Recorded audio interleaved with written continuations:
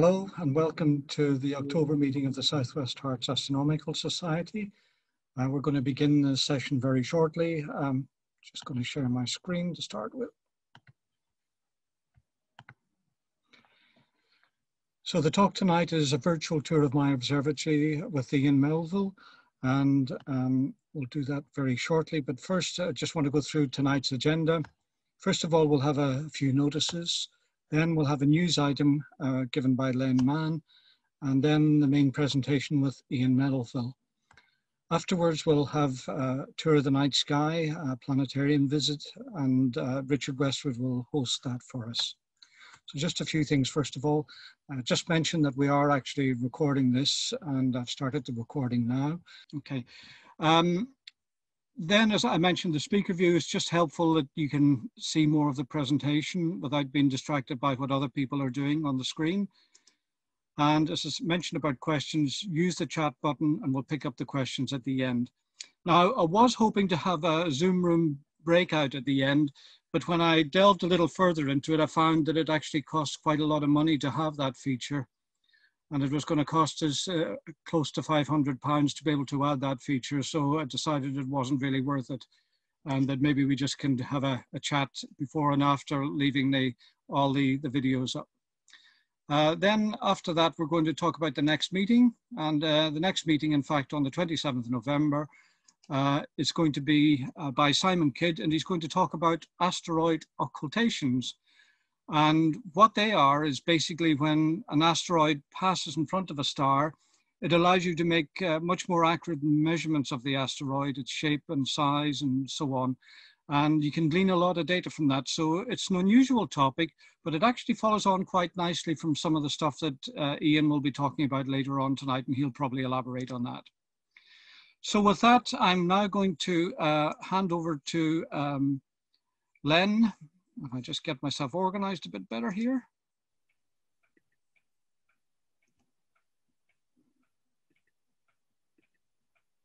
Right, hopefully everyone can see that.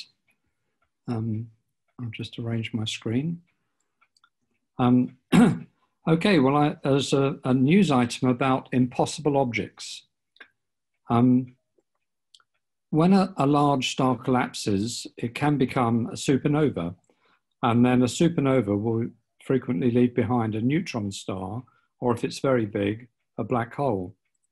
now, neutron stars are known to have masses of up to 2.1 solar masses, but not beyond. And stellar black holes, uh, that's a black hole that starts from a collapsing star, um, not a supermassive black hole that occurs in the middle of a galaxy. So a stellar black hole normally start about five solar masses, not below. So you get a situation where there's a mass gap between 2.1 and 5 uh, solar masses where you don't find neutron stars or black holes, the, the mass gap as it's called. Um, yet, uh, we have discovered an object of 2.6 solar masses. So that's the um, uh, first uh, impossible object. When you consider much larger stars, very much larger stars, that uh, collapse and form black holes, is known to work up to about 80 solar masses. So a very large star will form up to 80 solar masses, it will uh, generate a black hole. But above that, apparently, uh, the physics doesn't work because the explosion is so violent that it dissipates all the matter and you don't get a black hole behind left behind. But that only occurs up to about 250 solar masses where the physics starts working again and um, you uh, get very large black holes, very large in terms of a stellar black hole. Um, so again, there's a mass gap of 80 to 250 solar masses uh, where they shouldn't exist. But we've discovered a black hole of 142 solar masses. So um, what's going on? Where, what are these solar masses? Okay, well, we discovered these masses in the uh, gravitational wave detectors, which uh, I'm sure most of you know about. There are, are, three on Earth, two in America and one in Italy. And basically, there are two long uh, evacuated tunnels, and they're at right angles to each other. And a laser beam is shined in, shone into the tunnel, and it's split so that it goes equally down uh, the two tunnels simultaneously. Then they bounce up and down many, many times, and finally are combined to, together and go into a detector, which looks at the phase coming in, and that the whole machine makes an interferometer. And what that means is that if one tunnel should change in length slightly from the other tunnel, you will see an output. So as Einstein predicted, if there's a ripple in space-time and you get one tunnel a slightly different uh, length to the other, you should be able to detect it. Now, when uh, black holes and neutron stars merge, they create ripples in space-time, and uh, we can now detect them. But to be able to do that, the sensitivity of these detectors is incredible.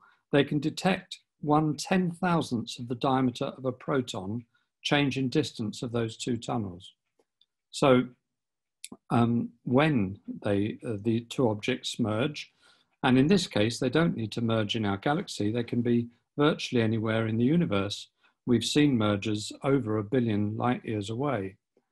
And uh, they will cause this ripple in space-time, and we can detect it. Um, and as the two objects rotate around each other, they get faster and faster and faster before they merge.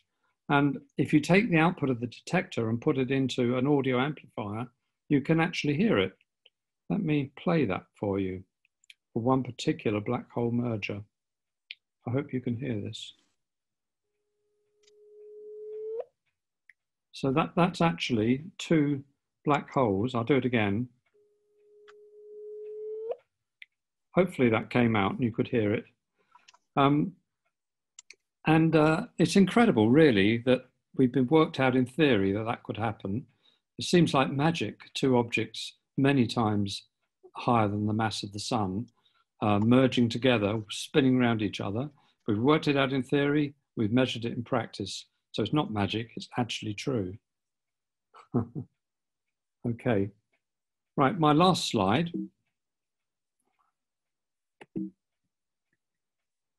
This is my last slide. Um, this is a, a, very interesting chart. It, well, I find it fascinating. Perhaps I'm funny that way, but I, I really do. And uh, you can see on the vertical axis, it shows the stellar mass from one up to 80 solar masses. This is a chart produced by the LIGO Virgo gravitational wave um, scientists. And uh, you can see um, a number of dots on here, some purple dots and some yellow dots, for example. The, the purple ones are black holes and the yellow ones are neutron stars. And the individual objects are called EM black holes, that's electromagnetic. What that means is we've detected them not by gravitational waves, but by telescopes, radio telescopes, and they're almost all in our galaxy. Some are in very close by gal galaxies like the uh, Large uh, Magellanic Cloud, um, but they're all local basically. And again, you can see that the neutron stars basically stop at 2.1 solar masses and black start at five. So everything's working very nicely to theory. Um, you can see that mass gap. Then, um, then you can see these triplets. You see on the left here, these are results of the gravi gravitational wave detectors. So on this left-hand one, you'll see a, a star, a, a black hole rather, of uh, 20 stellar mass, mass, combining with one of just over 30, creating a new black hole just over 40 uh, uh, solar masses. And each one of these triplets uh, displays an actual detection that's been um, received by the gravitational wave uh, detectors. Um, so I want to draw your attention to this one here, which was last May this happened, no, last August. And it was a very unusual merger between um, a black hole of just over 20 uh, solar masses. In fact, it was 23, and something that was 2.6 solar masses that created this new black hole a little bit bigger than the original. And so therefore that proved, that proved that there was a, an object of 2.6 solar masses, which seems impossible. Um, but of course it is possible. You can imagine uh, a triple star system with all the stars in that big enough to create supernova, um, two of them creating uh, um, neutron stars, which then merged and created this strange object of 2.6 solar masses, which then merged with the black hole, creating this larger black hole. That's one of the theories I've seen. Um, that could have taken place in a, um, a star cluster, uh, therefore collisions are more likely. Um, but that's the only explanation for that. Uh, and then uh, the other um, object that combined was in May last year, two black holes merged. They were just seven uh, million light years away. One was 85 solar masses and one was 66. So that's very close to the impossible area. And they combined, it's off the top of this chart, unfortunately, and made a black hole of 142 solar masses. So, and in fact, when that merger happened, it used up five solar masses just radiating gravitational waves. So it seems that these objects that we've discovered aren't really impossible. What is impossible is that the masses we've detected would be generated from a single stellar object collapsing. So clearly, they're objects that um, combine with another object once they are um, black holes or neutron stars, which then take you into this range, which I've called impossible, but of course is possible by this new method. And um, I hope I've explained that properly, and uh, that's the end of the news. Great, Len. Thank you. Thank you very much indeed. I'll give you. Uh, there you go. It should be. It should be all all all back again. Okay. And um, I apologize to those that were caught in the waiting room for a while. I didn't realize that when I handed over host control to Len, that I then couldn't allow people in. So I've had to, to take it back and that's why there was a delay. Apologies for that. Okay, so uh, tonight's speaker is um, Iain Melville. And uh, you might know Iain because he was a committee member and a member of our society for quite a number of years, but he was a committee member between 2010 and 2013. And uh, he's got a, a scientific background. He got a, a, BSc in astrophysics from Cardiff University. And then he went on later to UCL to do a, a BSc honours in computer science. And then further uh, a diploma in astronomy from UCL later on. So he's a, a very technical background, I think. And his day job, he's um, a software engineer. so he works for a company called Cellar, I think that's pronounced, uh, pronounced correctly, Iain, and they specialize in uh, marketing and exchange uh, type of transactions for the, the um, industries, including uh, trading on the, the, stock exchange, I believe, as well.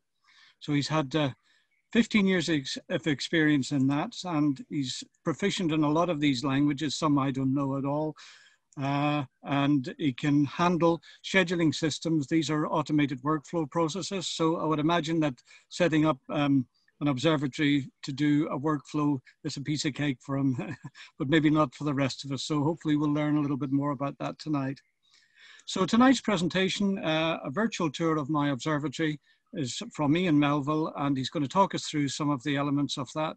And with that, I'm going to hand over to Iain. So just bear with me a second while I get Iain to be.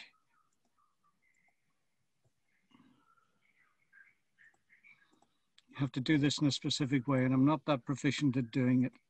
I beg your pardon. That's fine. Mm-hmm. I think there we go. Make host.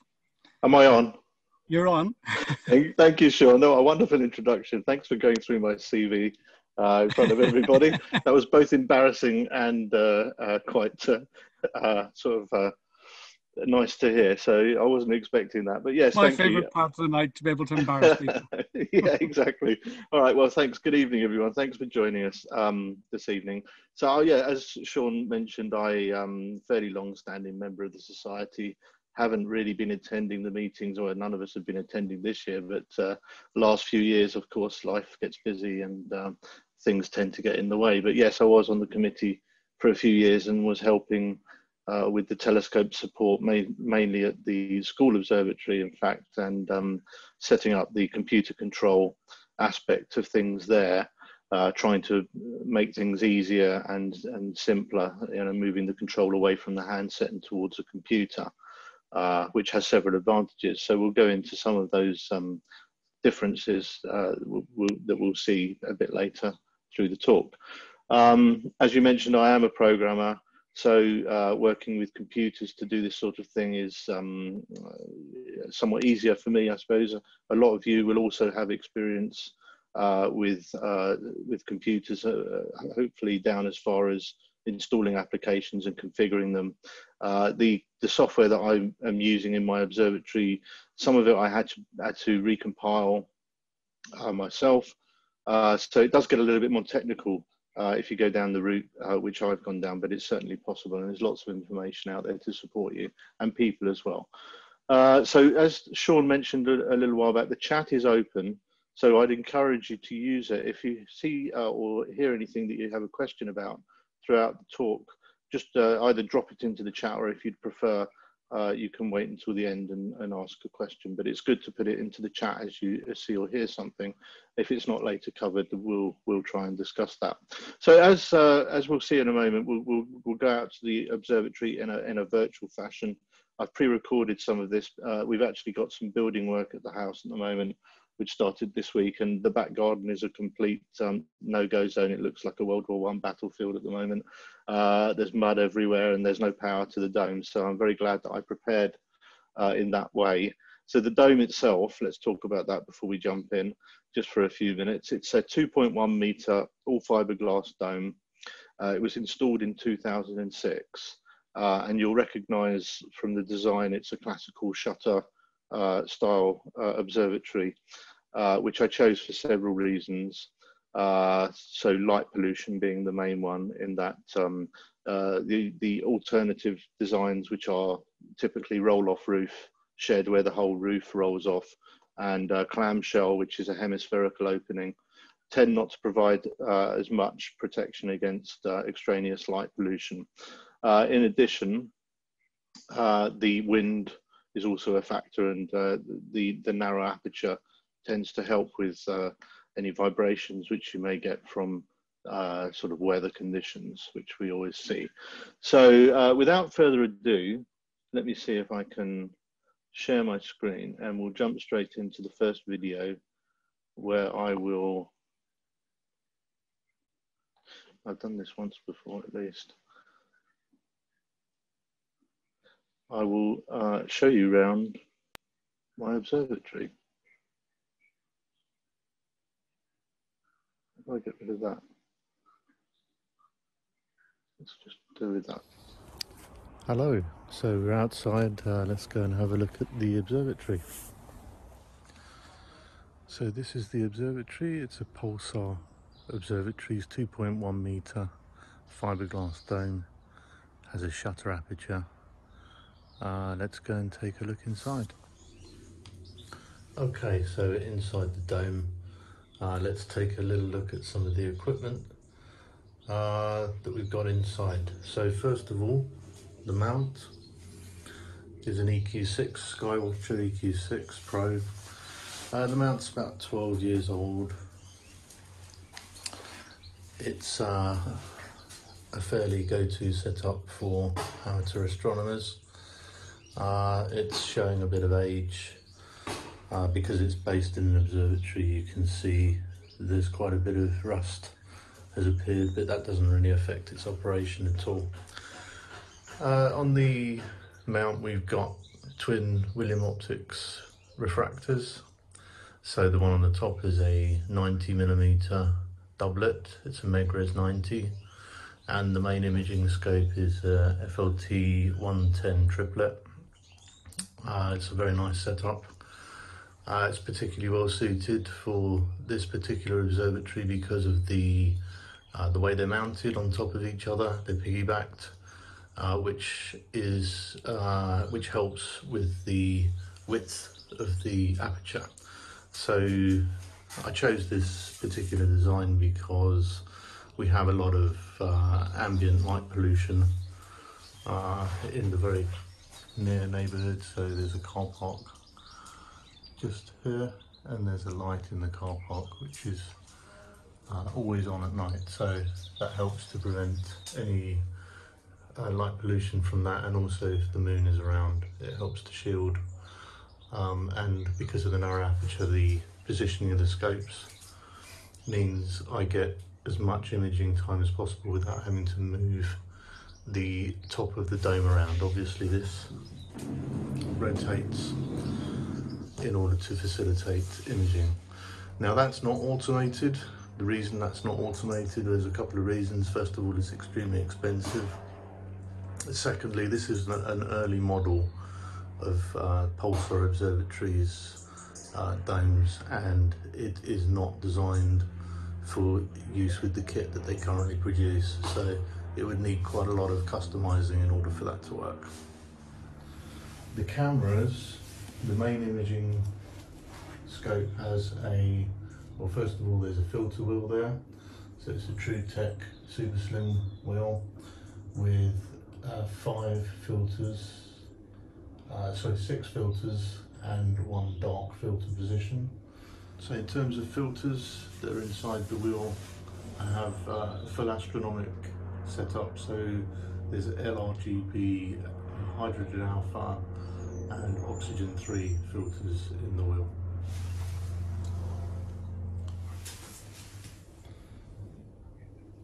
So underneath the filter wheel, this is this is a dew heater that I use just to keep moisture off the the glass in front of the sensor. It's a SXVH9 mono. And on the other, on the guide scope, we have got a Starlight Lodestar, the later model. So there's the Starlight Lodestar X2. So I should just say that the field of view that I get with my main imaging setup through the FLT 110 is 30 by 40 arc minutes, which is about the size of the full moon. So the full moon's 30 by 30. So it's about half a degree by half a degree. So in terms of power, I have some lights in here, which I use when I'm first setting up. There's a red and a white light. Uh, I have a power board down here and uh, that's wired into the garage on a separate circuit. Let's talk a bit about computing. Uh, this was the computer that I used to use to control everything. Uh, it's on a very old IBM ThinkPad. It's quite a capable machine. Um, reasons for upgrading, changing things. I didn't like uh, leaving the computer out here, uh, which was often the case. Sometimes uh, it would get quite wet uh, with the moisture and condensation. So I've recently upgraded or changed my setup. So this is the new computer that I'm using, which is a Raspberry Pi. So here's the case. The case is much bigger than the actual computer actually and the reason I chose this particular case there's no fan inside so there's uh, heat sinks which contact this uh, aluminium surface and dissipate the heat so it's a completely passive cooling uh, setup. So you can just see the computer the main board is inside there. It only actually takes up about this much of the case. And then there's an access flap here which you can remove it's magnetic. That's in case you want to add uh, a breakout board uh, to enable the computer to perform other functions. Perhaps you would add a camera, so you would add a, an extra board there with cabling to support the camera. So as you can see we have Ethernet. The Ethernet goes directly into the laptop and the laptop is solely used to as a screen so I can focus primarily and select targets and also monitor uh, what the system's doing.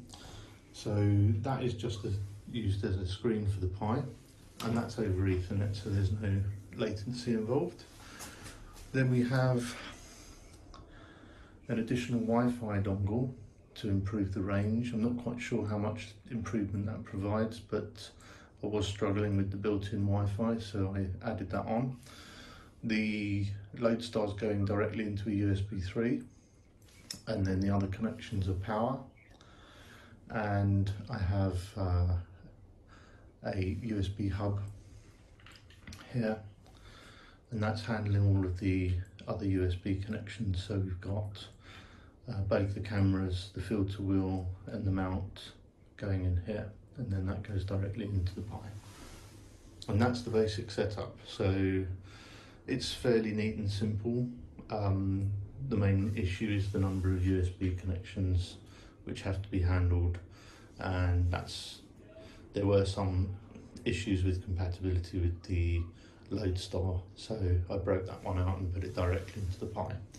But apart from that, this is uh, the setup that I'm using at the moment. A little bit more on the specifications of the Raspberry Pi that's inside the case. So the machine itself is a Pi 4 Model B.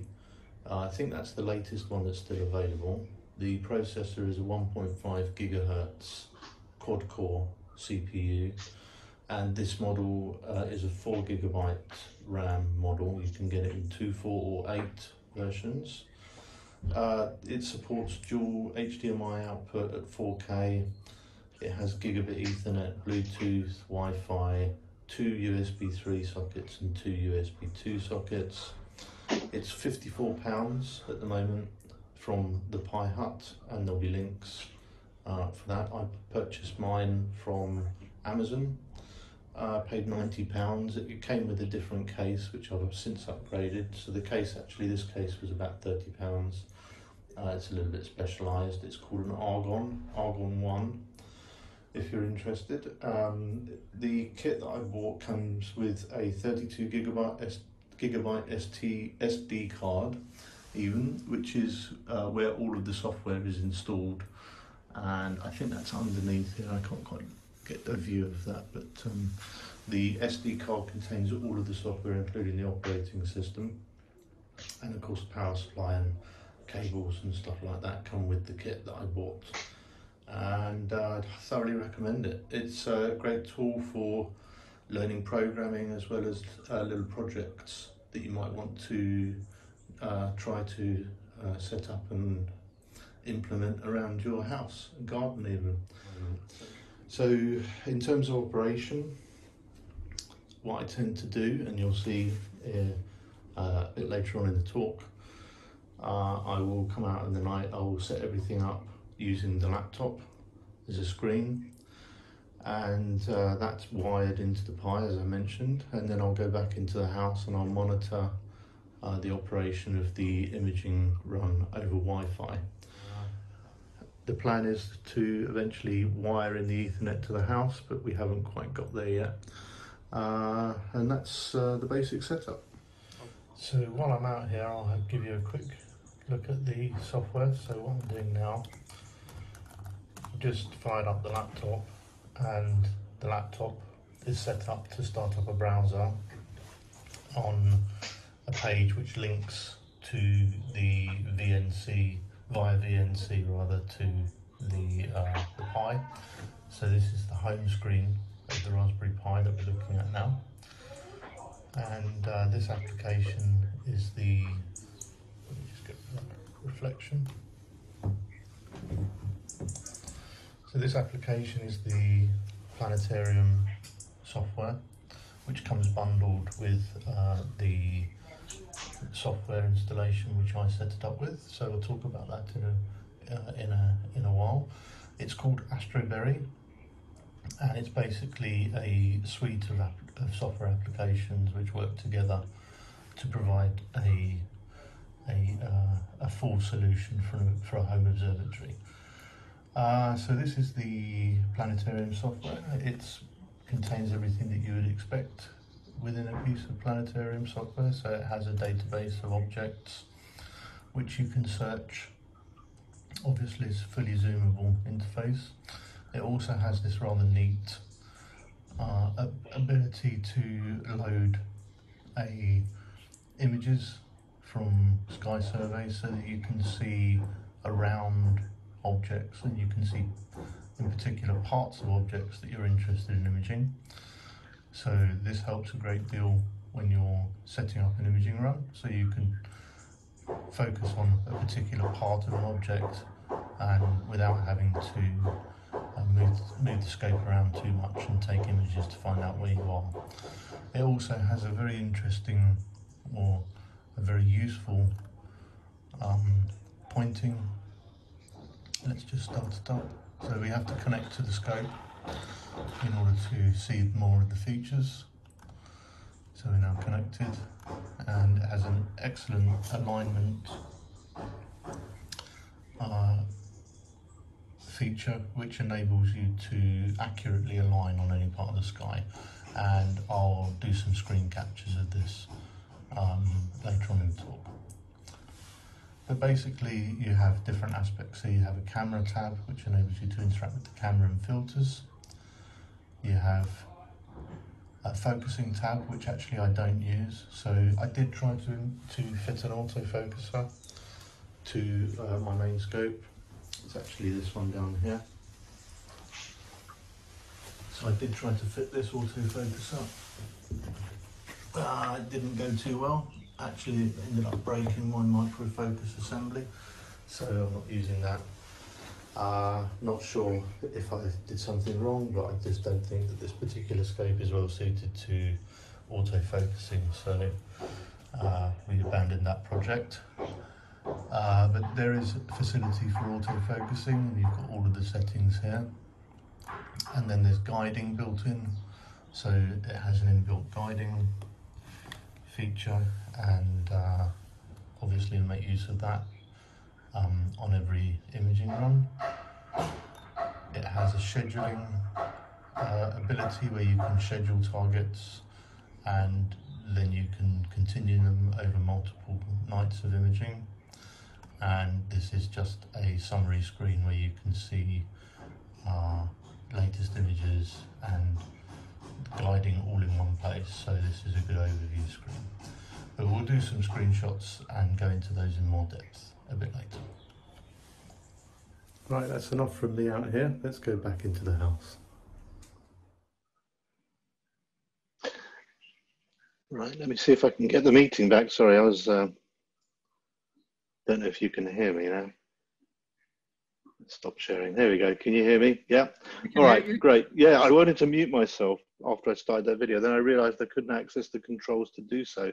So uh, I'll try and do that before uh, we play the next part. But anyway, so that was a, a, a very quick sort of round trip of all of the equipment that I'm using um, and a brief introduction to the Pi and the software that I use to uh, run things. So um, as I mentioned, we will go back out at night in a few minutes and we'll we'll go through the the steps that I that I have to um, perform it when I'm setting up a, an imaging run uh, and we will um, have a, a little look in more detail at the software, how it works.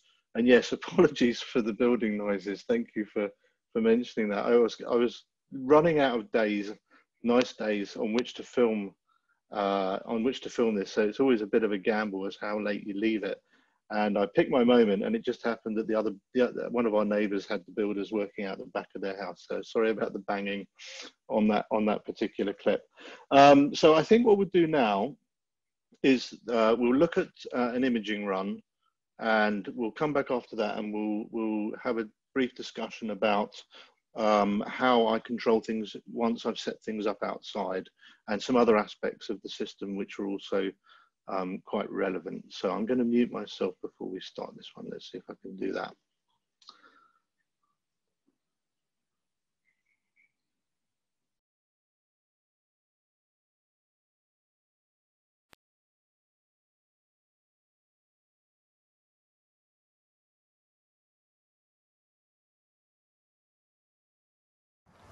So here we go into the observatory. Let's put my down. Stick the light on.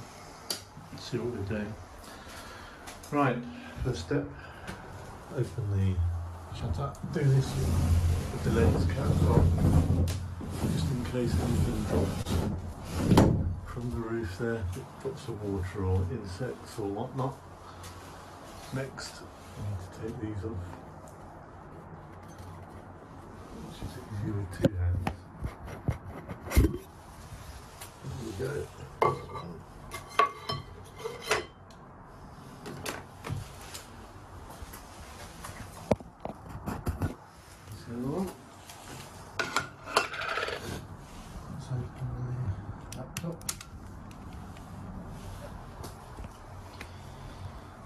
I'll switch this on.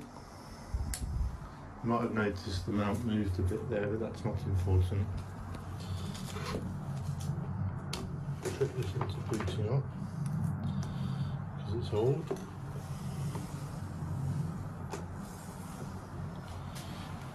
So now that's on the way up. I need to turn the flash off.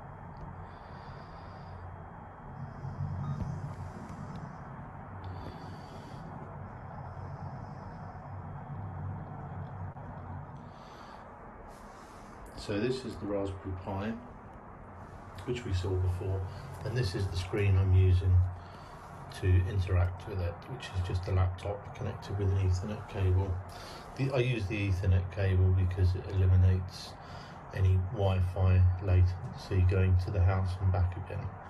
So the first thing to do, now that we've got the roof open and the scope on, is connect to the scope and the cameras, which you heard there, the filter wheel.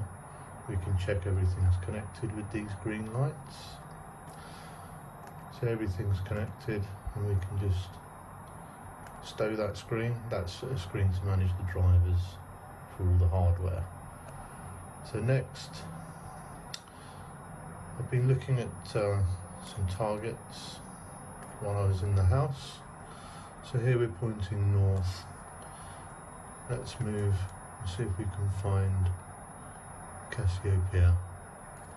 So let's look east and then we'll go up.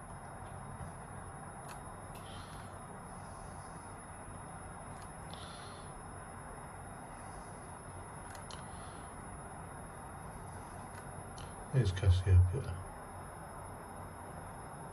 And I was looking at uh, the target in Cepheus. So one of the good things about the software that I'm using is it downloads an all sky image. As you zoom in, it increases the resolution, so it gives you a good idea of what any image may eventually look like. The this square, the rectangle on the screen is actually my field of view with the camera and telescope combination that I'm using. Switch to my other hand so that I can centralize this target. You saw the image moving there because it's tracking the um, it's not tracking the sky at the moment so what I would like to do is center on this star so when it's picked up a star I can center on that star. And that's framed up that uh, target quite nicely. So now I'm going to go to this screen which is a, a scheduling screen. And I can type in my uh, image, my target name and all I'm going to do is add the coordinates from the screen's centre.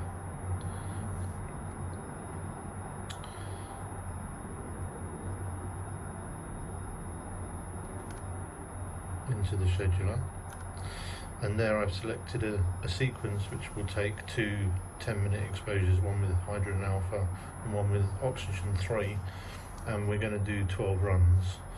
So there's 24 images scheduled on those particular coordinates. Now I'm not going to start that um, sequence just yet because I want to focus the telescope. So let's do that. Let's just um, move to this nearby bright star. We'll unpark and then we'll go to the scope should start moving.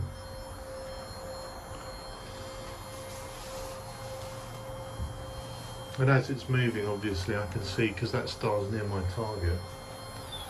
I get a good idea of where the dome needs to be, so let's move that round.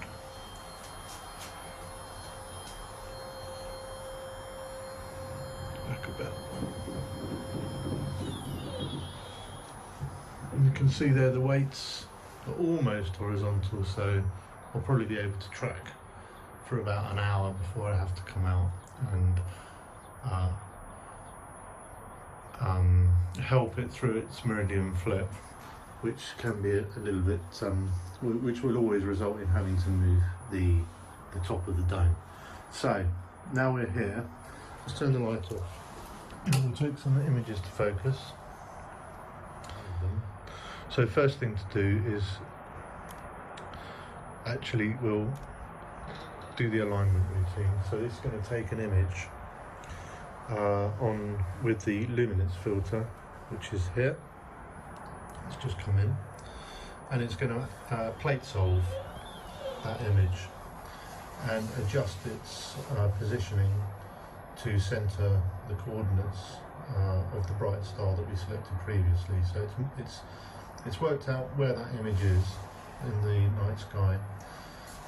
It's moved the telescope and tried to centre the bright star, taken another image, which it's doing now, and then it's repeating the process. So I've just heard it move very slightly. You should see the next image will come in there, and the star is quite well centred. It'll probably be good enough. It may, may, may want to do one more. No, it's fine. So it's come back. You can see the error, 17 arc seconds, and that didn't take uh, very long at all. So that's the plate solving aspect of this uh, piece of software. Very, very useful. So now we're on that star, we can go to the camera and we will just uh, loop uh, three second hydrogen alpha images and I'll put the, I know the star's centered now, so I'll put the Bahtinov mask on. Not me, on the scope. So that Bahtinov mask is just going on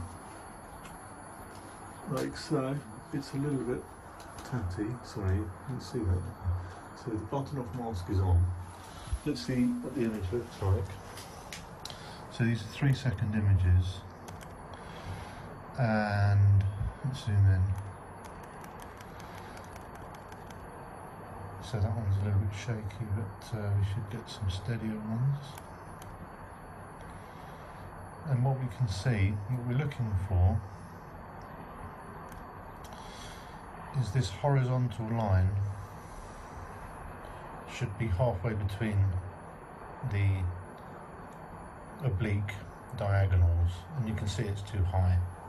So we need to adjust the focus. So there's no real no way of knowing which way is the right, way to go? And it looks like I've chosen the right way. And that looks pretty good to me. So that's good enough. Okay so that's half focused.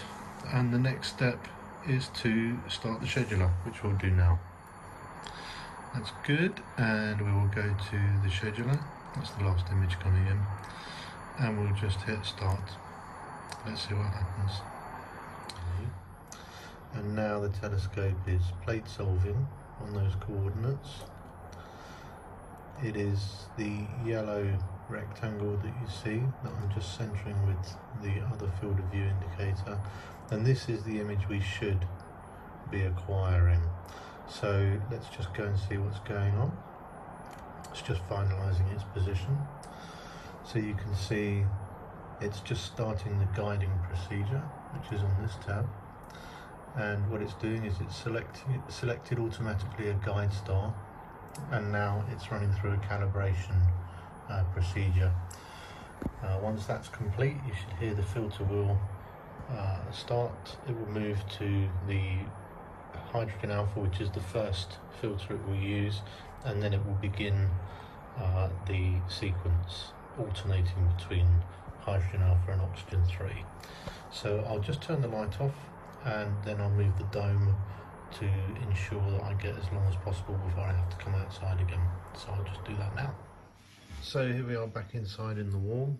Brought my beer in as well. Um, this is the view of the Pi in the observatory. So I'm just remoting in on my laptop. And again, this is just a view of the screen that the Pi would display if it had a, a, a monitor connected, which it doesn't. So what we can see is the schedule is running. The first image is being acquired. So it's a 10 minute image. There's no image yet, but you'll see it there. This is the guide graph in the bottom right. It shows you the guiding errors. And this is the guide star that we can see being held still or being recentered by the software sending commands back to the mount. So we will come back in a few minutes when the first image comes in and I'll see you in a minute.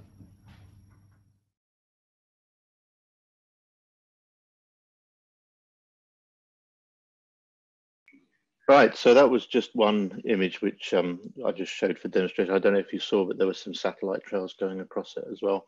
Uh, so that is uh, the operation of the system, basically.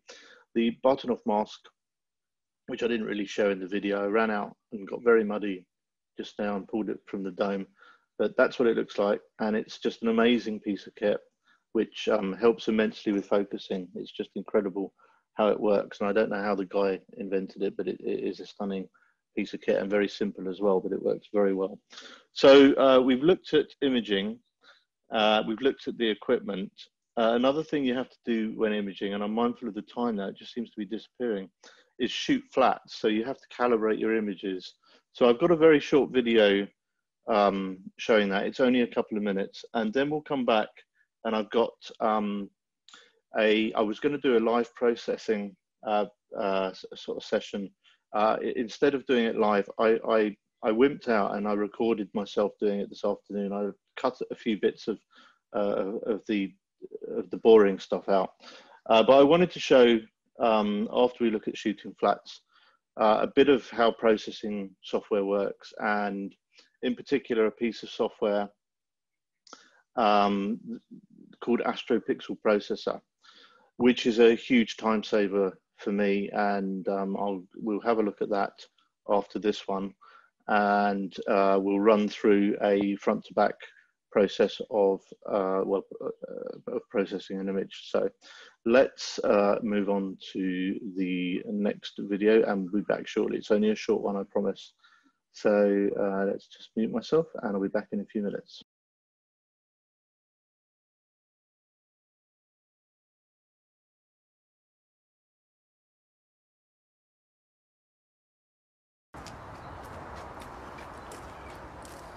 Okay, well it's the morning and we're going to go out and shoot some flats. Okay, so here we are back in the dome in the morning after doing some imaging. I'm going to shoot some flat frames. So the first thing to do is to take the, the cover off the main scope and put on a uh, white piece of cloth to evenly illuminate the sensor.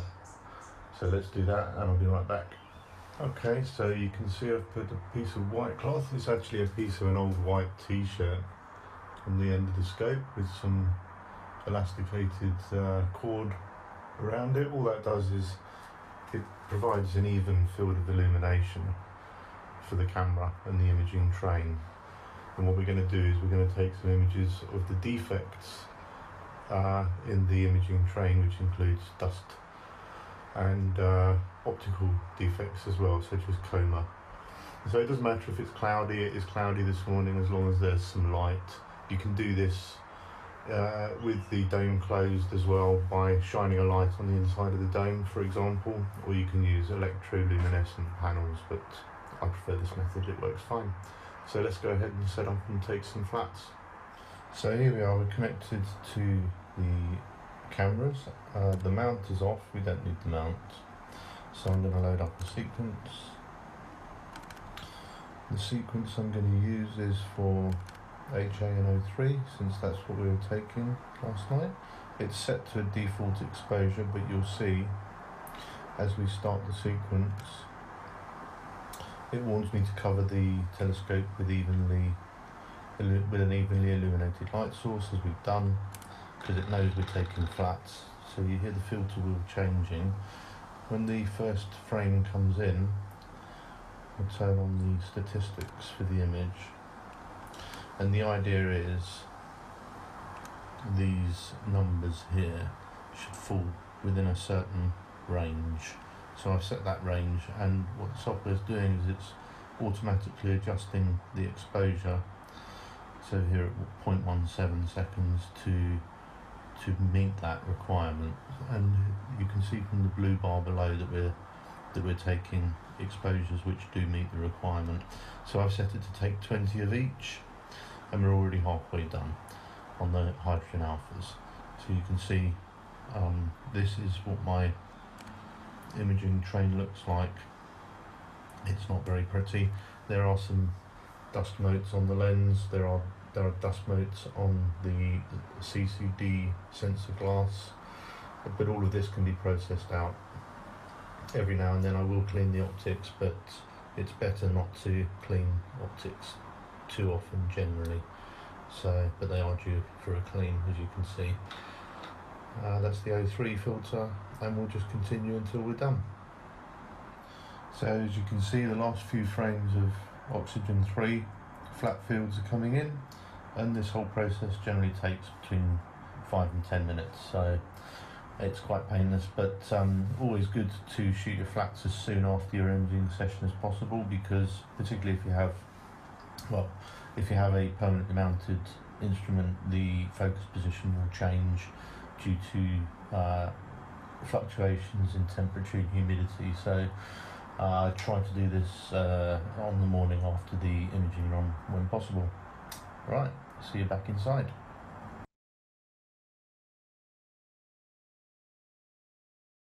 Okay, so that was the that was the full uh, process of image acquisition, basically. All of all of the things I have to do, what any imager has to do, basically, when they're shooting targets.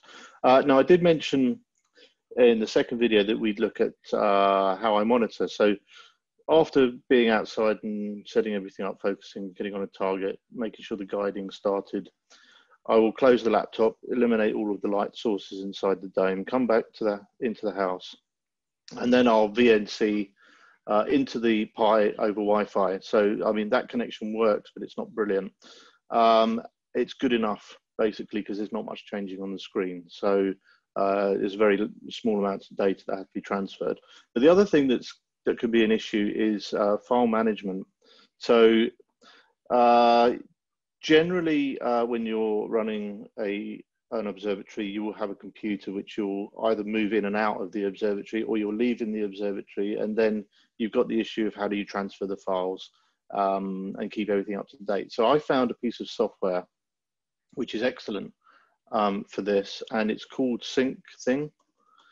Uh, basically, it is a uh, free piece of software which allows you to um,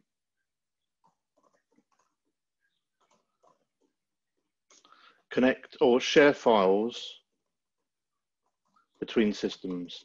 And it uh, will keep uh, the uh, the, file, the folders synchronized between multiple systems. And uh, basically I've set it up on the on the Pi because there's a Linux distribution and it's set up on two of the laptops in the house. So all of my flat fields my darks if I take any I rarely take uh, new darks and I've got a dark library and a bias library. But the flats and the target files, as new files appear on the Pi, they are shipped over to the laptops in the house. So that, that completely eliminates um, any of the extra work that I have to do uh, from that aspect, which is a very nice. Uh, it's a very good piece of software. It seems to work extremely well and it's free, um, which is great.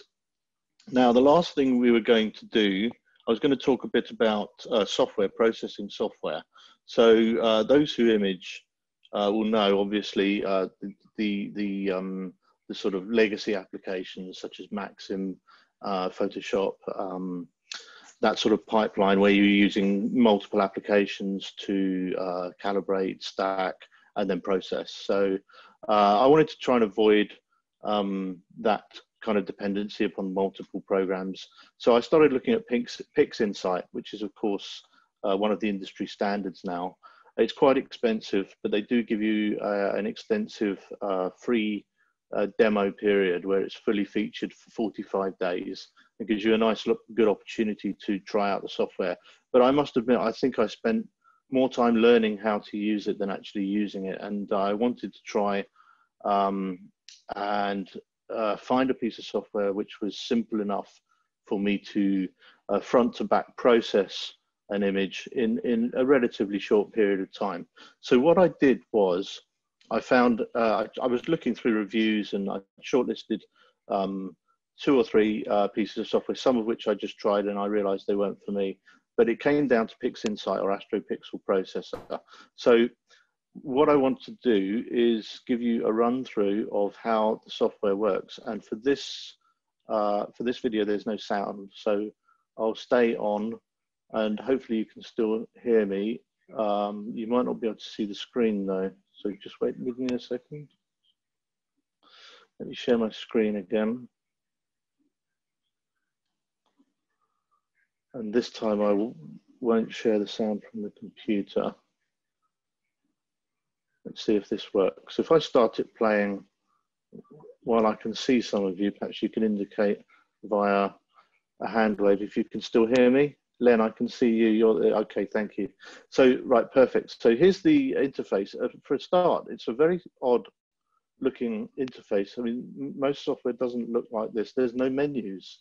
So there's no menus uh, at the top all of the um, controls are in this left uh, part of the screen. And what you have is a set of numbered tabs, one to nine. And you start at one and you work your way up the list. It's really quite intuitive. So all I'm doing at the moment is loading the light frames from uh, an image which I, uh, sorry, a target which I imaged back in July, I think. So I had a, quite a long run on it over one night. I think it was about uh, four or five hours. Uh, and that simplifies the processing somewhat because uh, it means there's only one batch of uh, files to calibrate. So that's the reason why I've uh, chosen this particular one. So I've loaded up the actual image files at the bottom here, the light, the light frames, and now I'm loading the flat uh, files, which you saw me uh, similar to the ones that you saw me um, taking in that last clip. So we've got the HA loaded and I made a mistake with the O3. I shot some binned and some unbinned and I need the unbinned ones. So I only selected half of those. Um, and I'm telling it which session they belong to. So you can uh, process multiple sessions over multiple images taken over multiple nights by setting up uh, separate sessions in in this piece of software, which is a, a very nice feature. So this is a, a, library of darks that I've got of, of, different exposure lengths. I've got 60, 180, 300 and 600, I think. The camera I use is quite quiet um, anyway, so it doesn't tend to have a lot of uh, sort of um, bright, bright pixels, hot pixels. Um, and these are bias frames. There is a lot of readout noise on the camera I use, so uh, I have to always calibrate with the bias. You should always calibrate with the bias anyway. And of course, you can you can build master uh, frames for all of this, which is a uh, an option as well as you'll see as we're going through.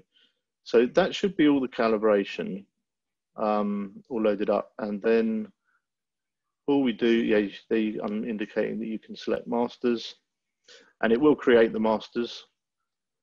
So if you have to repeat this process, you can just select the masters. This takes a little bit of time, so I've cut through. Uh, I think it took about two two minutes or so to create all the master frames. And there I'm saving the calibrated light frames if uh, we need to pick them up at a later date. And that's just save, saving them. So once that's completed, and that really is, uh, in, in a sense, the bulk of the work. So the, these frames are all now, uh, these are the frames that are loaded and then at the bottom of the list, we should find the calibrated hydrogen alpha. Oh, sorry, that's, that's a flat. So that's a master flat for hydrogen alpha. And yes, I'm ashamed of the state of my optics, but uh, this is what happens when you have a permanently mounted instrument. It's just impossible to keep everything free, uh, clean and dust free. That's the dark. So there you can see the hot pixels. There are not many of those for 10 minute images. And this is the bias. You can see the readout noise on the left side primarily and some at the top as well. So all of that is, is in every single image I take and it has to be subtracted. These are individual 10 minute, minute exposures. Uh, so those are oxygen three, the faint ones, and these are hydrogen. And you'll see the targets upside down because uh, in some of them, because the scope has performed a meridian flip and the optics are rotated 180 degrees on the target. But the software takes care of all of that.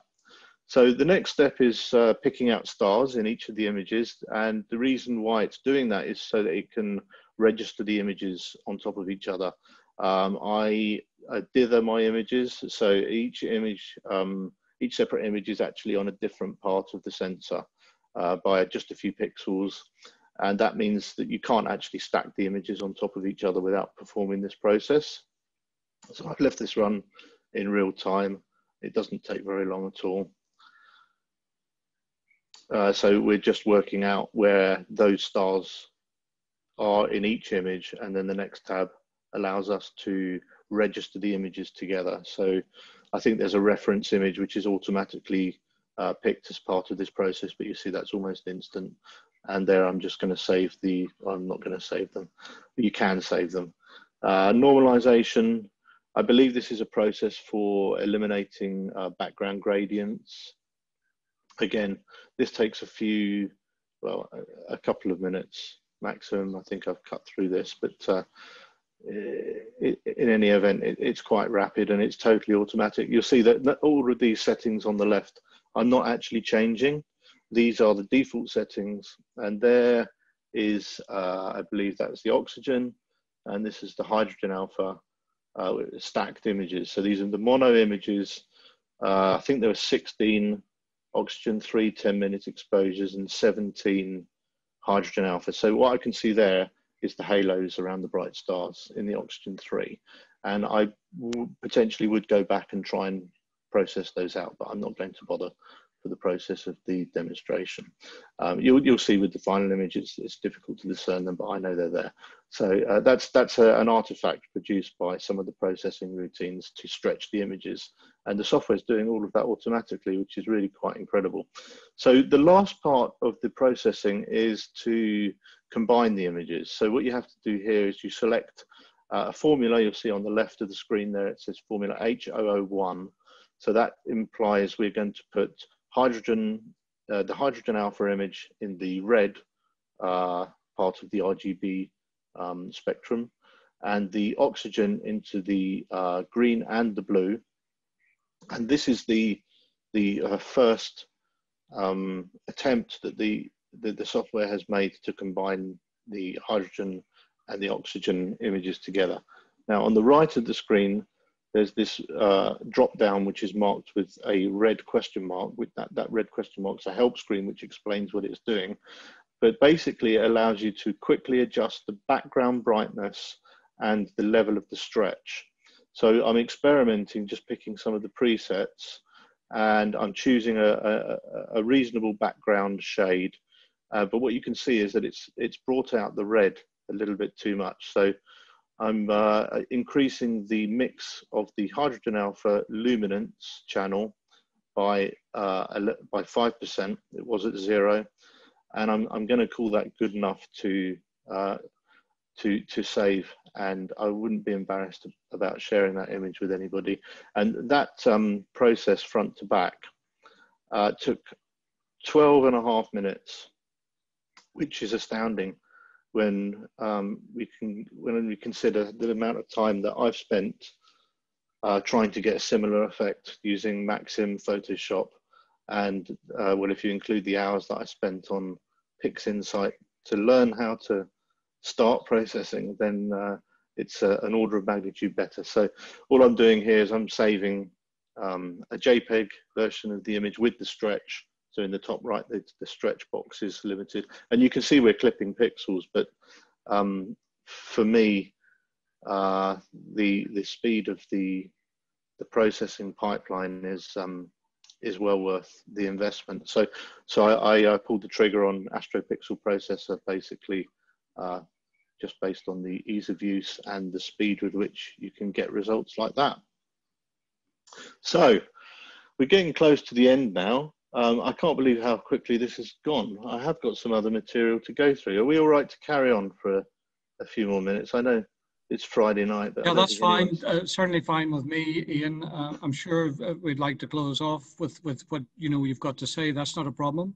Okay, great. So I mean, no one's going out. I don't think uh, these days. But, uh, so let's let's carry on. Uh, I have got some slides. I don't like slides, but I have got some slides. So we'll do a quick um, run through of what I've got, and then we'll go through the chat. Somebody did ask a question. Uh, we'll come to that in a moment. So let's just, uh, you can see my screen? Yes, good. Uh, let's see if we've got Keynote running. Okay. So we, we've seen the observatory. That's not me, by the way. Um, so the observatory was installed in 2006. That's my boy there.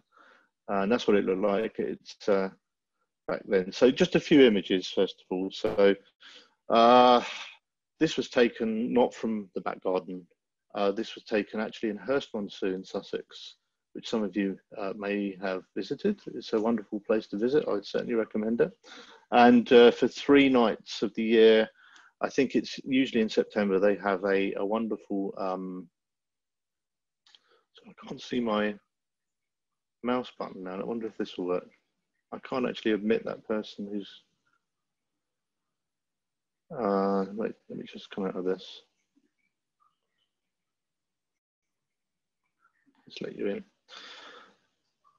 So it's, it's in September. They they run a uh, astronomy festival, they call it, and you can camp in the car park. There are no camping facilities, but the skies down there are pristine, and uh, that's where this image was taken. It's quite an old one now. You may have seen it before, in fact, but uh, it's two pane mosaic. Uh, it's one of my favourites. It's the uh, Eastern Veil, which is part of a supernova rem remnant in Cygnus, and it's a beautiful object. And this is another part of the same object. So also uh, uh, part of the Veil Nebula. So this is the Western Veil, which is also known as the Witch's Broom. It's very bright in oxygen 3, which is the blue portion that you can see there. It's a, very nice filamentary detail in that uh, object. It's also a two-pane mosaic. This one was shot in Salisbury. This one was from my back garden, the M27, the dumbbell. And uh, uh, and narrowband is obviously um, more achievable um, in our regions, so where we're bathed in sort of sodium light from the M25, but uh, nice narrowband object and reasonably well framed uh, in my field of view. Quite a nice large object and a nice galaxy. I saw someone last month who gave the talk, I think mentioned as their favorite object. One of my favorite galaxies as well.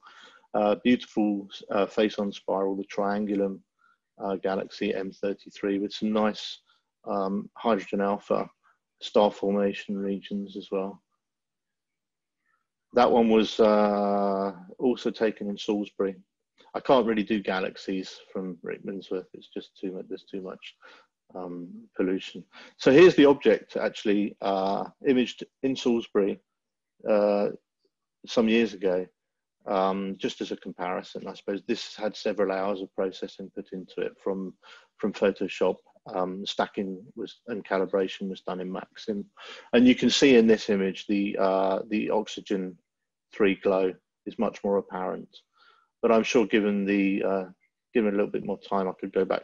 I think the, the, the reds in this are a little bit more washed out as well, but um, uh, there's maybe some more oxygen data in here, and I think the the sky certainly contributed. The sky quality was a lot better in Salisbury, but um, yeah, it's a nice image. So let's talk a little bit more. I, I, did mention the specifications for the Pi. It's a wonderful little piece of kit. It's quite incredible that you can have a fully featured computer like that um, in, your, in the palm of your hand. Uh, but the, the specs are listed here and there will be some links which I'll share with uh, Sean after the um, after the presentation and hopefully uh, some of you will be inspired to take a look because it's not just for astronomy of course there's a multitude of projects that you can use these things for. I'm sure some of you may already be doing so. Now in terms of software astroberry was the software suite. So that's a pre-built image which you can download onto an sd card pop it into the pi boot it up and it will actually it will actually be already loaded, pre-configured, ready for you to use. It's quite astounding actually that you can just put an SD card into the uh, machine, start it up and it's there. Uh, it's down to you to configure it and set it up, of course. Um, what's actually included is uh, KStars, which is the planetarium software, Ekos, which is a part of KStars, and that's the screens that you saw when we were controlling uh, the cameras, the telescope, um, and also the guiding routines. That's all in the Ekos uh, package, which is part of it. Consta-SEAL is also included. I haven't even tried to use it because KStars does everything I want it to do. It's got databases. It's, it seems to have everything. Um, the INDI framework is the drivers. It's a, it's a large set of drivers and there's some links. If you want to check and see if your hardware is supported, there's the, uh, the web uh, site is quite uh, fully featured and lists all manner of hardware. PHD2 is also part of it, but I haven't even looked at it. I use the Ekos guiding as you saw. It seems to work fine. And the plate solving, there are three different ways to plate solve. So you can download the um, you can download the databases, the, the star databases that you need, and then you can work offline, which is what I prefer. It's slightly quicker. Uh, you can, if you have a good internet connection, then you can run it online, which needs le less space from your card. Um, but there's also an, an entirely separate um, uh, astrometrical uh, plate solving routine uh, known as ASTAP, which I have actually had running, but I tend to stick with astrometry.net. Uh, and also there's other applications for planetary imaging, which I haven't looked at. And um, on the on the subject of planetary, of course, you're looking at a lot of disk space for imaging, uh, uh, sort of running movies at large, at high frame rates. So I would suggest then you can just plug in a an external drive into the Pi. Quite easy to do. Uh, here are the links. I'll share those. And just before we close off, I will go to the Minor Planets website, Minor Planet Center. Minor Planet Center is the clearinghouse for all um, astrometrical observations globally. So it's based in uh, the International Astro Astronomical Union in in uh, Massachusetts, Cambridge, Massachusetts, uh, which is near Boston in the US. And as Sean mentioned before uh, I started, there is a uh, project that you can undertake if you have a CCD camera. I think you can even use a DSLR. I saw some information about imaging with DSLR to obtain astrometrical readings, but uh, I undertook this uh, this program of astrometry. I did give a talk about it some time ago. I've given it elsewhere as well, and uh, other people have actually contacted me several months down the line to say that they'd done the same thing. Uh, the goal is to uh, perform astrometrical reduction on uh, a series of images to obtain uh, positioning of uh, asteroids. Basically, you can do it with comets as well, but there's not so many comets around. There's a large number of asteroids around, and uh, the information, if you would be interested in undertaking that program of astrometry, is here. And what's the goal? Why would you do it? Well, there's not many people who've actually done it. So if we look at the list of, uh, this is a uh, an up-to-date list of uh, the codes which are assigned by the uh, MPC worldwide. Let's go to the top. Who's at the top? It's Greenwich, of course, at zero longitude. So that's top of the list. And if you go through, there's several, um, yes, Hubble Space Telescopes even in there, but all of the big observatories are listed. And if we search for, I think, if we search for Rickmansworth, you can see uh, this is me, I-97, Ben Heights Observatory. So that was the goal. I think there's about two and a half thousand observatories listed, including all the space observatories. So it's a it's a fairly exclusive list, and it's a very interesting program. If anybody's interested, then just uh, reach out.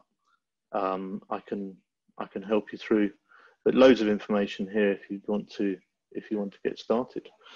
Uh, and I think that's about where I wanted to get to. So let's have a look at the uh, question. Somebody mentioned a different uh, piece of software, Nina. So I haven't heard of Nina.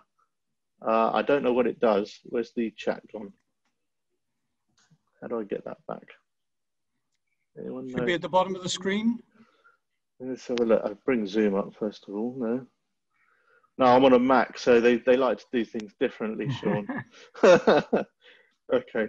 Uh, well, let, I'll stop sharing my um, screen. Um, oh, here it is. Yeah, it came back when I stopped sharing. There you go. Yeah, Alt H is a shortcut. So, have you seen Nina open source software? I haven't. I haven't actually seen it. I don't know what it does, so I can't compare it. But there is a lot of open source software out there. I mean, even the company I'm with now, I just joined them a month or so ago, and we're all of our software is open source. All of the libraries we use is open source. Um, the good things about open source software is the, the, the, parts of it that are used commonly are very well supported. The parts that are not used so commonly are not so well supported. And I found that with my filter wheel, the drivers didn't work.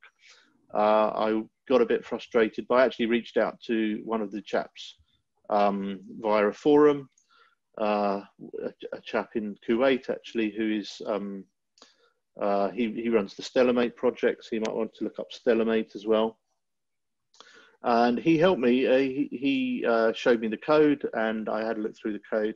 He fixed uh, the issue actually, and um, um, managed to get me an updated version of the driver. So it was subsequently broke, and I was able to fix it myself by recompiling the the code that he had shared with me. But uh, that sort of thing certainly helps if you're going to take on a project like this. So yeah, and there's another question from Peter.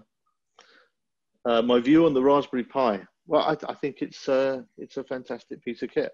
Uh, it's not very expensive, so if you want to buy it without a case, without a power supply, without cabling, you can. And it's um, it looks it looks too good to be true. But if you do buy if you do buy it that way, I think it will only set you back about forty pounds. And you, you can even buy the older versions if you know that the project that you're going to be using it for is not going to be too demanding on to, in terms of processing. I just bought the best one that was currently available. Uh, the price uh, was ninety pounds, I think, with with a simple case, with a power supply, uh, with a couple of HDMI uh, cables, which helped when I was setting it up, of course. Um, and what I would say is, if you're interested in uh, computing or coding, it's a fantastic way to get started because it is it is a computer in your pocket basically. And there's all, all manner of applications.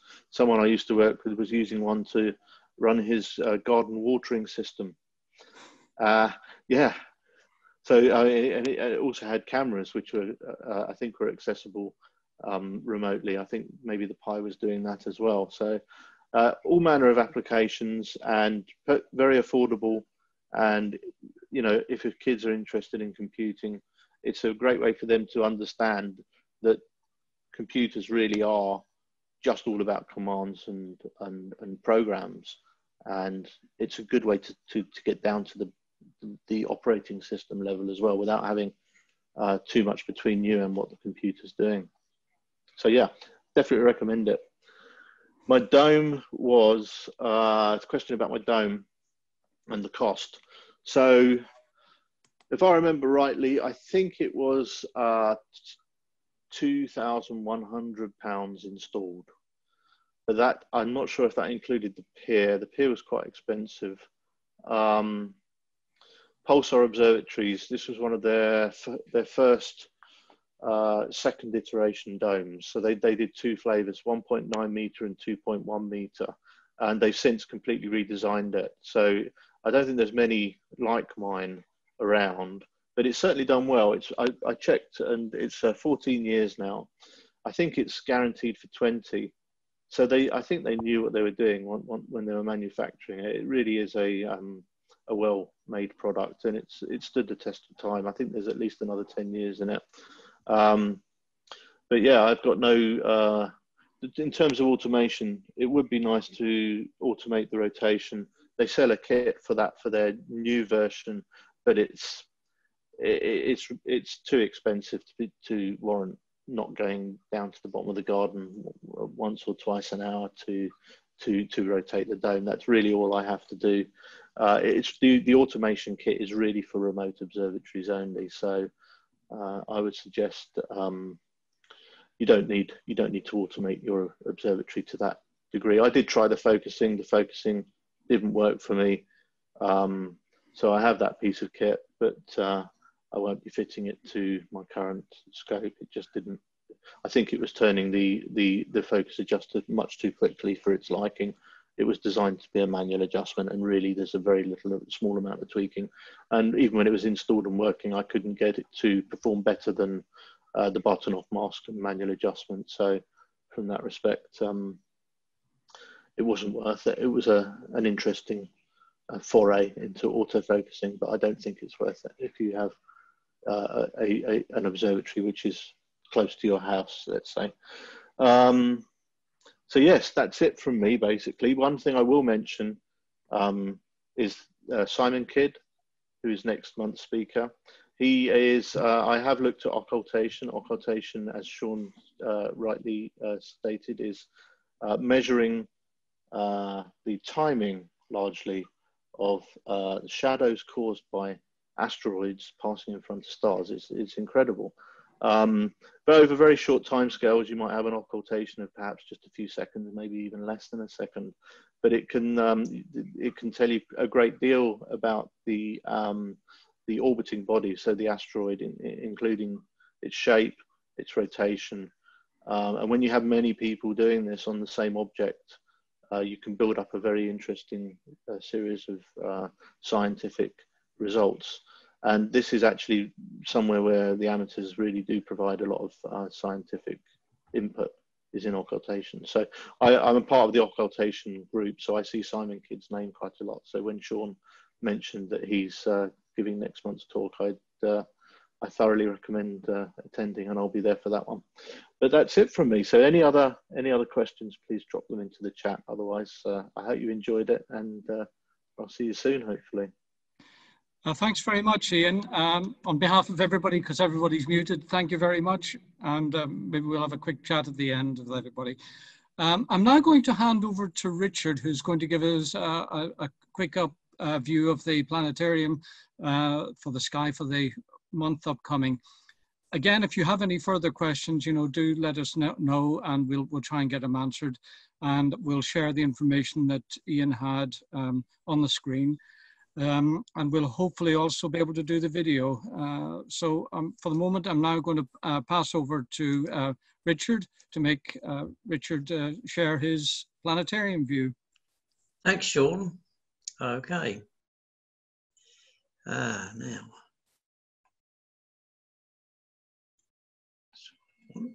There we go. Can everybody hear me?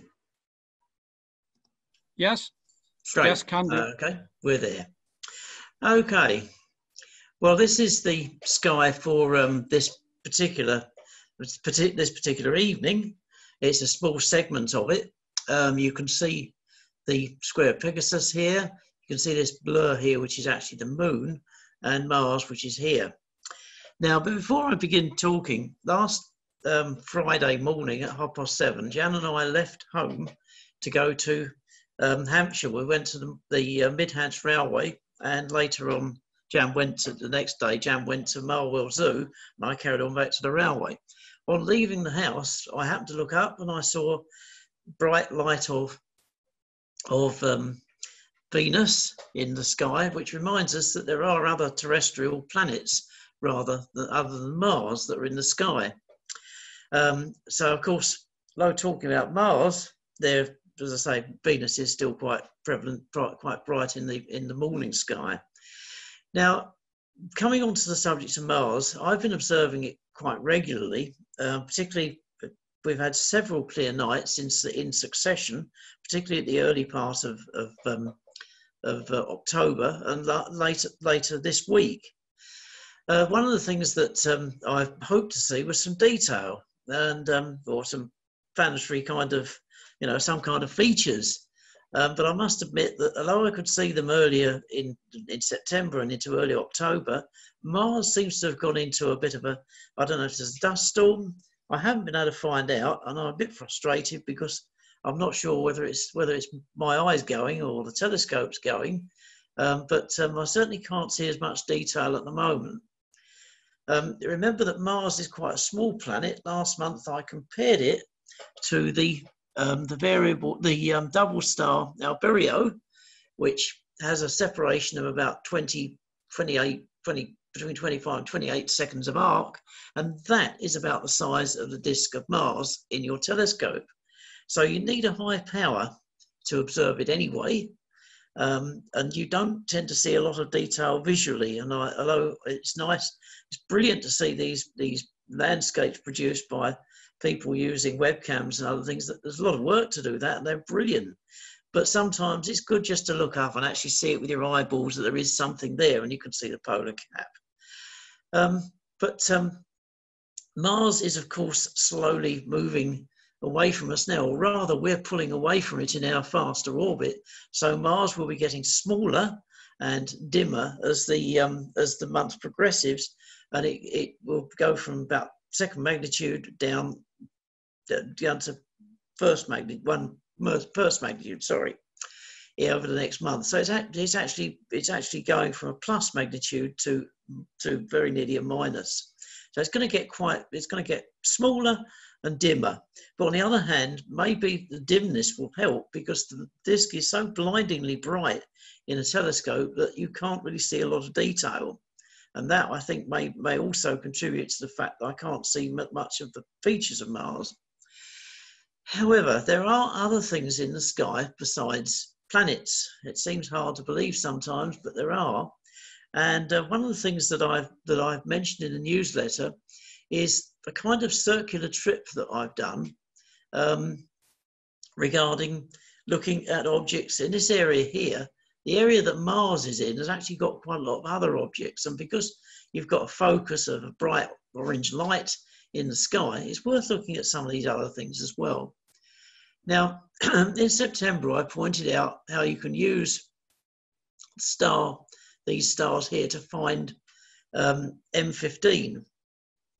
M15 is a globular cluster in Pegasus, and this is the neck of Pegasus because Pegasus is actually upside down.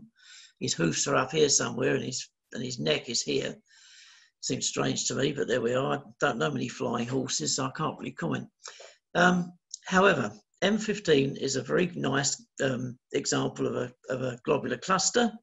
Strange enough, in September, at the, one, of the meet, one of the meetings of the Virtual Astronomy Group, um, we were looking at an, an, image of the, of the uh, Andromeda spiral um, taken by a remote object, a remote um, telescope in, um, in Spain near Seville. And somebody said, would it be nice if we could look at something else? So I suggested, well, how about moving the scope along and having a look at M15? And how cool is this? I'm sitting on my in my back room on a computer, and here I am directing a guy who is living in Letchworth to look at an object in Spain, and it happens to be a globular cluster that I'm particularly fond of. I prefer visual astronomy, but it's really nice to see the globular cluster come out in in um, in force as well and come out nice and bright um, on your screen when you don't have to put a coat on and sort of mess around with eyepieces. Now I'm going to use something I wouldn't normally use. I'm going to use the diagrams and the, let's turn that off and try this one. Yes, there we are. what I wanted to point out was there are other, as we say, there are, we see, there are other objects to look at other than um, Mars and bright objects. And this little area here is the so-called water jar of Aquarius. It's a small, what we call an asterism, because Aquarius kind of has this long straggling shape. It's supposed to be a man carrying a water jar, but I'm afraid the water jar is the only bit you can really, really see. And it's quite easy to find because you just need to use this V here of um, Pegasus, Enif, which is the star there, and this one here, which I can't remember the name of, um, to actually pinpoint it. Come straight down with your scope and you come to this little area here of stars. It's quite obvious in a, in a small, in the finder of a small scope. But if you use these two stars and bring your scope over to here, you'll find another globular cluster that was discovered well, it was found, although it had been found before, it was actually discovered by Messier, but it was actually seen first by a guy called Maraldi some years before. But he claimed that he discovered it because he didn't know about the other previous finding. Um, and it's a very nice cluster indeed. Um, it's not the same as, as the, the one in Pegasus. It has a much less condensed core. It's, it's pretty evenly, evenly star-filled globular cluster. And that, of course, is M2. But there are other things even beyond that. The actual, this little group here, the water jar, that star there, which is Zeta, actually is a double star. And it's a very nice one, but it needs a high power on your telescope. And if you get to use a high power, you'll actually see that it's two cream colored stars close together. There's something, as I said in the newsletter, there's something about um, refractors that do that actually provide really good images of, of, of double stars and that is a particularly nice one to look at.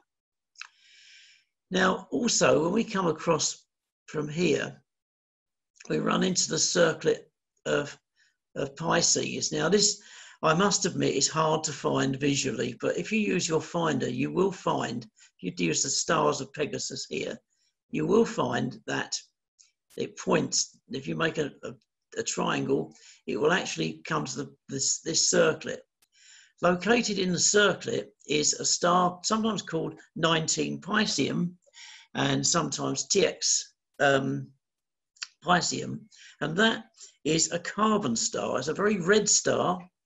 Um, the characteristic of them is that they're they're pretty cool, and they have and they have um, molecular bands in them. So actually there is water vapor in that star.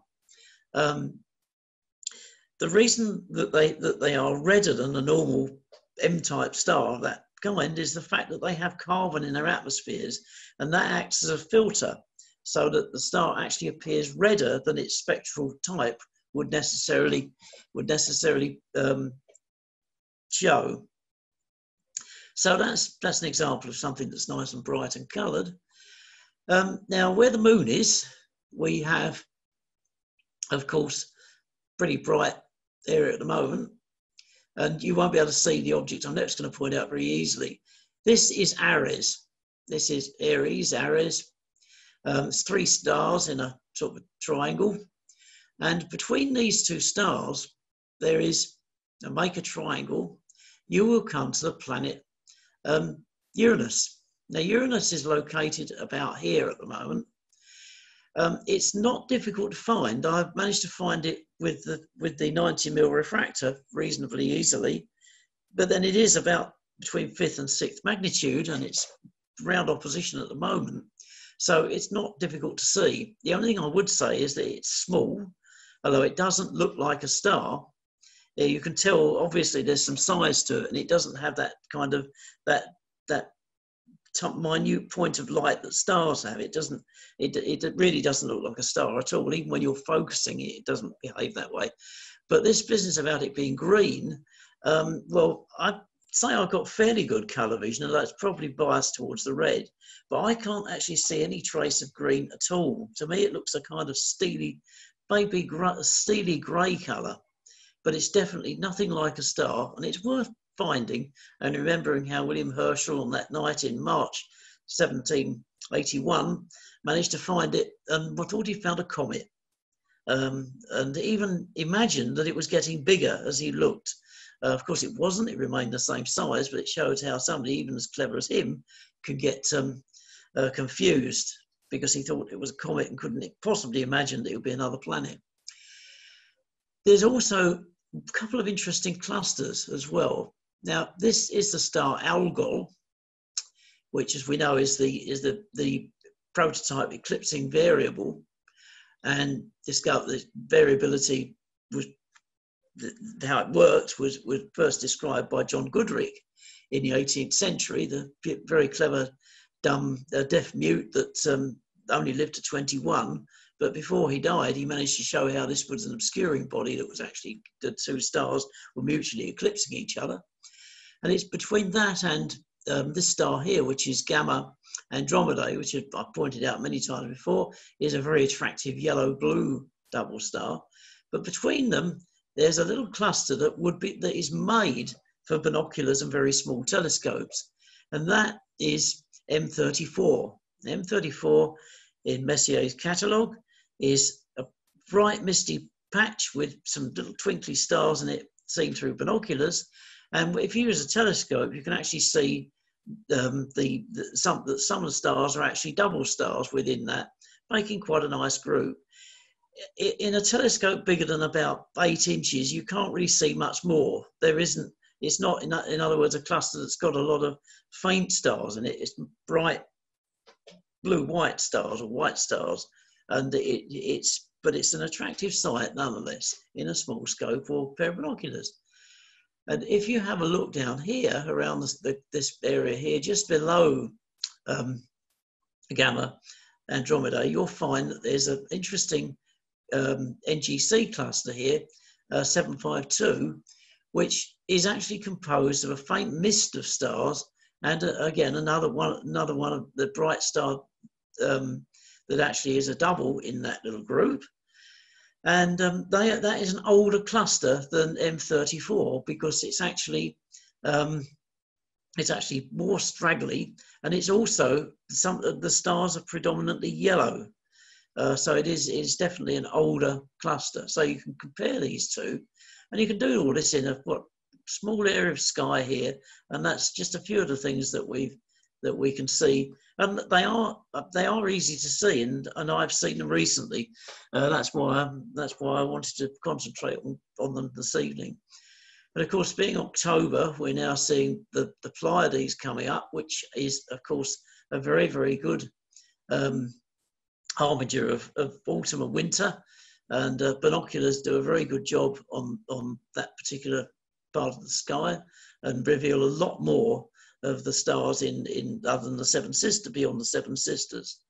One of the things I noticed about it, which I first discovered in binoculars in the 1970s, was the little hockey stick asterism of several stars that form a line with one off to the side that's in the, in the um, southeastern part of the cluster. That's just a little asterism within the group that's quite noticeable. Um, there's, there's quite a few things to um, to have a look at, and they're all, as I say, within an easy reach of, of the square of Pegasus, so can't get lost. And um, they're, they're, they're, I've seen them recently, and that's something else because the skies are getting worse in terms of um, uh, light pollution. There's no doubt that it's, that it's something that's really getting bad, and and yet they can all be seen with a really quite a small instrument, and will you know it's good to have a look and see these things, even though scientifically there's no real use to it. Incidentally, just before I finish, I'd like to say that in the same field as um, as Mars, there has been a rather rather large, um, rather wide apart double star I don't know what it is. I've looked it up, and as far as I can tell, it's a star called 80 Piscium, but I haven't been able to find out any more information. But if anyone, anyone's been observing the Mars um, using a small telescope visually, they would have seen that. And it's, it's just an attractive thing. And also, a little help, it helps you to focus on the image of Mars because the planets are difficult to focus on with a telescope, um, particularly Mars because it's, it's bright and it glares. And Jupiter and Saturn because of that, or Jupiter particularly because of its its much softer um, limb. So uh, anything like that is useful to focus up on. So apart from anything else, that's something you can you can actually use to improve your Mars observations if you want to do that. So um, I'm going to hand back now to Sean. I hope that's that's um, enough information for one evening, and uh, we'll come back and have a look at some more next month. But uh, good observing. Great. Uh, thank you very much for that. That that was really good. And um, if you can, I, I might actually try and just show a few little things. Um, okay, so uh, I might not be able to do this. No, I won't be able to do it, but there's a plan, uh, the planetarium software that we're using here is Stellarium. You can download it for yourself if you haven't already done it. And there's a couple of really neat uh, shortcuts that you can use to find things. So for example, there when Richard was talking about uh, M2, um, if you if you push, position your cursor in that general area, you'll find that M2 will come up and you can actually show it by uh, selecting some of the icons on the bottom of the screen to show deep sky objects. But then a very useful tool is to press the space bar and then you can use your scroll button on the mouse to zoom in and you can really get close into it and see an actual image of the object, which is very useful. Um, and one of the other things, if you don't press the space bar before you scroll in, if you really have a high magnification, you'll see the sky whizzing past you. So um, have an explore with it because it's a very good piece of software and um, you know it, will uh, help you learn the night sky as well. So I want yes. to thank everybody. Sorry, yeah, sorry.